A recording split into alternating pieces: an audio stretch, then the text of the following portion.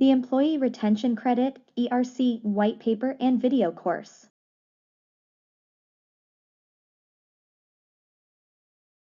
Section 2 Eligibility for the ERC.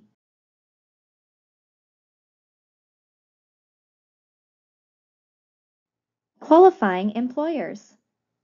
For purposes of the ERC, the term eligible employer means any employer carrying on a trade or business during the calendar quarter for which the credit is determined. A business is considered an employer if it has at least one employee. An employee is defined as an individual who performs services for an employer and is considered an employee under common law principles. Note: The distinction between a common law employee and an independent contractor is important for tax withholding purposes. The IRS automatically assumes workers are common law employees unless the company can prove otherwise. Thanks, Nova. I appreciated the break. I can take it for a while. To qualify for the ERC, an employer must meet specific eligibility requirements, which are outlined below. Fully or partially suspended operations. The employer must have experienced a full or partial suspension of their operations due to a government order related to COVID-19 or have experienced a significant decline in gross receipts. Significant decline in gross receipts. The employer must have experienced a significant decline in gross receipts, defined as a 20% decline in gross receipts in a quarter compared to the same quarter in 2019. For 2020, the decline must begin greater than 50% decline to qualify. For employers who were not in operation in 2019, the comparison was made to the corresponding quarter in 2020. Small or mid-sized employer. The ERC is available to small and mid-sized employers with fewer than 500 employees. There are no restrictions based on the type of business, and eligible employers include for-profit and nonprofit organizations. Full or partial shutdown of operations. It is unlikely that your business experienced full or partial shutdown without your awareness. However, it is possible that the shutdown was by management or out of an overabundance of caution. Remember, to qualify, the shutdown must have been ordered by a government entity due to COVID-19. To determine if your business was fully or partially shut down, you should review the government orders that were in effect in your jurisdiction during the period in question. If your business was subject to a government order requiring a shutdown or a significant reduction in operations due to COVID-19, it generally qualifies as fully or partially suspended.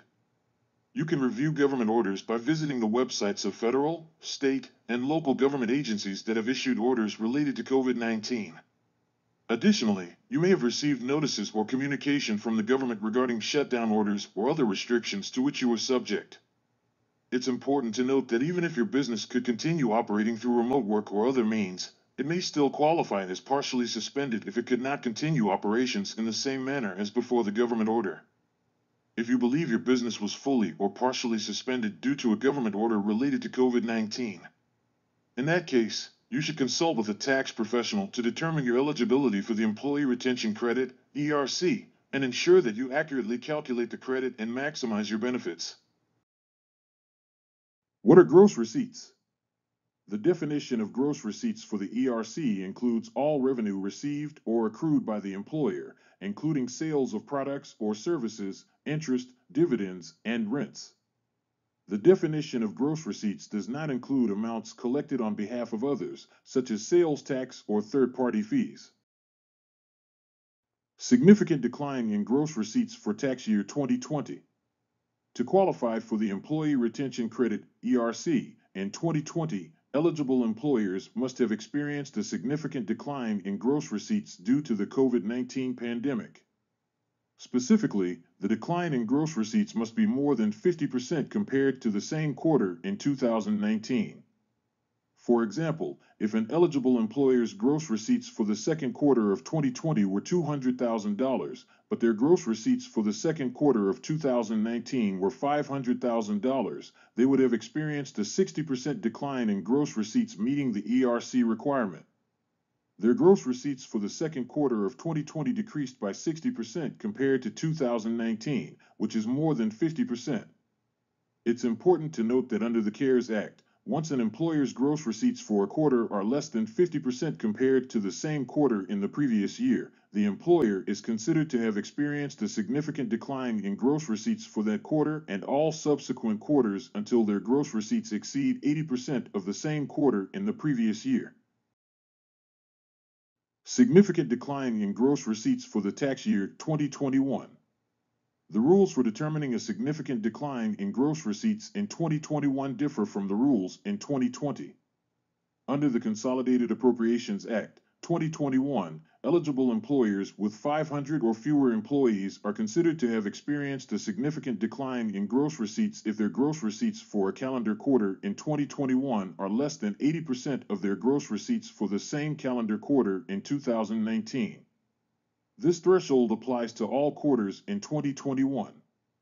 For example, if an eligible employer's gross receipts for the second quarter of 2021 were $350,000 and their gross receipts for the second quarter of 2019 were $500,000, then they would have experienced a 30% decline in gross receipts. So their 2021 receipts were 70% of those for the same period in 2019 they would meet the requirement for a significant decline.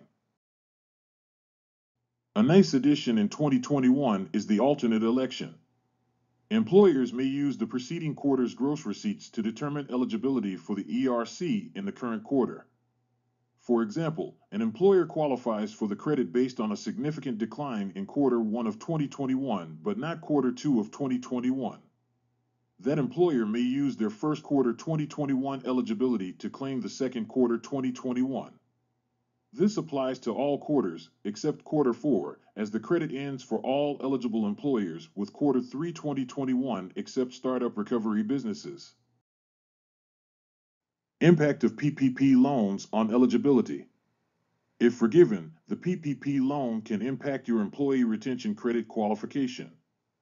The interaction between the PPP loan and the ERC can be complex. You must consider the following to allocate the forgiven PPP funds to individual employee wages. The amount of the forgiven loan, the covered period selected on your forgiveness application, and the amount reported as payroll cost on your forgiveness application. The employee retention credit is computed as a percentage of qualified wages. Therefore, ERC qualified wages must be reduced by any portion of those wages that have been paid for with forgiven PPP funds as computed above. For most businesses, the PPP was insufficient to cover 100% of ERC eligible wages, but depending on the covered period, it could significantly reduce the credit. Unforgiven PPP loans do not impact ERC.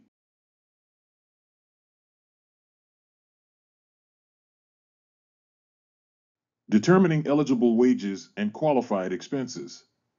Keep in mind eligible wages are the base wages that the ERC credit percentage can be applied. Here's a general overview. For 2020, the maximum eligible wages are $10,000 per employee for the entire year. Therefore, the credit amount equals 50% of eligible wages paid to each employee, up to a maximum credit of $5,000 annually. For 2021, the maximum eligible wages are increased to $10,000 per employee per quarter. Therefore, the max credit amount is equal to 70% of eligible wages paid to each employee, up to a maximum credit of $7,000 per employee per quarter. It's essential for eligible employers to carefully review the rules and consult with a tax professional to ensure they accurately calculate the credit and maximize their benefits. This white paper has been prepared by Kedra Flowers, a certified public accountant, CPA, for general informational purposes only. It is not intended to serve as a substitute for professional expertise or judgment in any specific situation. The content presented herein is meant to provide a simplified and digestible overview of complex financial, accounting, or tax related topics. As such, readers are strongly advised to consult with a qualified professional before making any financial, accounting, or tax related decisions based on the information provided in this white paper. While every effort has been made to ensure the accuracy, completeness, and reliability of the information contained in this white paper, Kedra Flowers cannot guarantee that the content is free from errors, misstatements, or omissions. Therefore, the provided information should be used as guidance and for informational purposes only, not as definitive or binding legislation. By accessing, reading, or otherwise using this white paper, the reader acknowledges and agrees they are solely responsible for their actions and decisions. Kedra Flowers shall not be held liable for any errors, inaccuracies, or omissions in the content, nor for any loss or damage resulting from reliance on the information provided. It is the responsibility of the reader to seek professional advice from a qualified expert before making any financial, accounting, or tax related decisions. Any reliance on the information contained in this white paper is at the reader's own risk. Kedra Flowers and Kedra Flowers CPA PC disclaims any and all warranties, express or implied, with respect to the content and information provided in this white paper.